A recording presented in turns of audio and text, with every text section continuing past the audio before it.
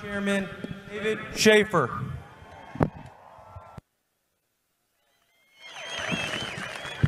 It is a great privilege to be in Valdosta, Georgia today with Kelly Loeffler and David Perdue here to welcome our great president, Donald Trump.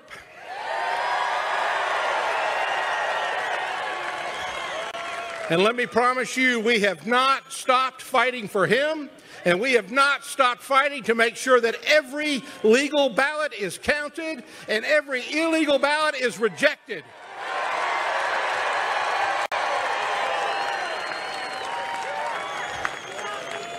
And let me tell you this the fight for election integrity goes hand in hand with the fight for Kelly Loeffler and David Perdue. It's not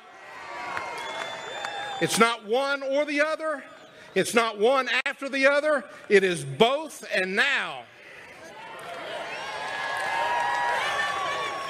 Let me tell you something, guys. This is the most consequential election in our lifetimes.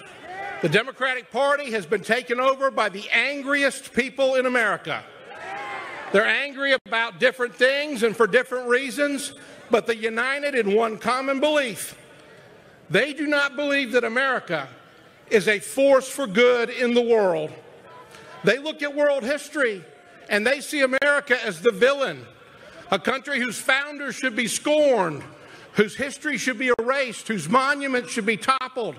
But we know the truth that America is the hero of world history.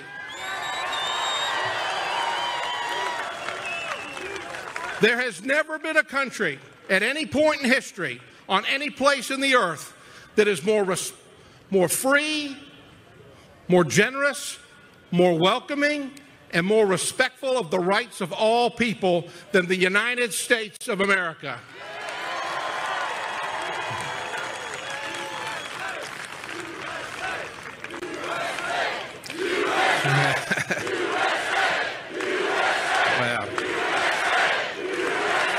Thank you. Let me close. Let me close out with this. This election is about the kind of country that we're going to leave our children and our grandchildren. And what I want to, what I say to you, we need to leave them a country that is free, that is strong, that is proud, where we kneel before God and where we stand for our flag. God bless each of you and God bless America.